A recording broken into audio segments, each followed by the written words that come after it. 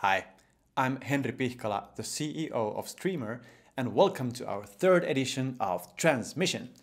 Streamr had its first all hands AMA on Reddit. We had dozens of great questions, and that one thread has already been viewed by 6,000 Redditors. During the session, our COO, Risto Karjalainen, revealed we are talking to a number of partners to populate our upcoming marketplace with buyers and sellers. We hope to have more news on that front soon. Another major event on the comms front, we hired Amandine Flachs as our new community manager.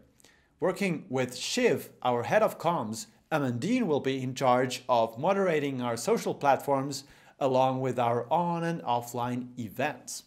We're also excited to be closing a few new developer hires right now, so stay tuned. As a nice surprise, just before the new year, data was listed on another large exchange, HitBTC. That means our current and future users now have more avenues to obtain the token needed to use the Streamr system. Talking about users, two months ago I said we had 2,500 of them on the platform. Today we have almost 8,000 people experimenting and building stuff on the Streamr engine and editor.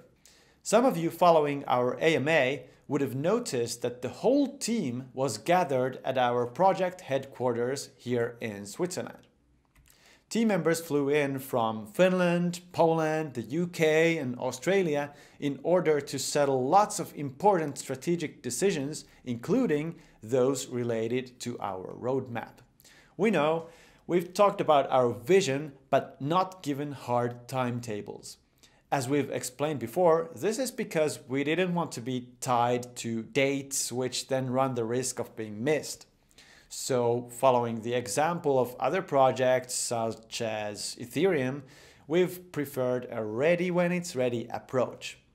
And we're not changing that. However, we've listened to our community and in the next week or so, we'll publish a more detailed program of our milestone one development via Trello.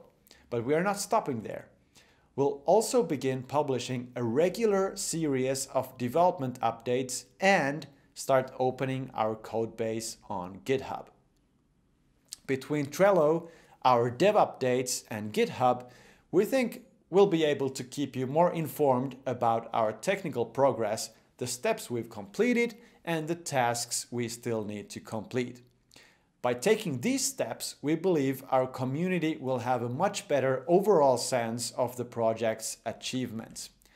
Finally, and here's the big vision, we feel confident that we can build a functioning data marketplace by the end of this year.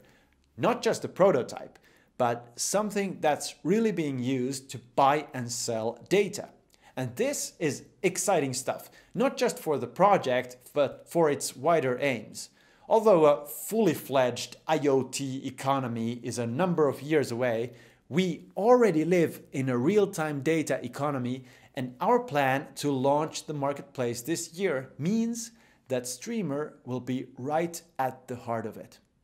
So, exciting times ahead. I hope you join us for the next transmission in four weeks. Bye.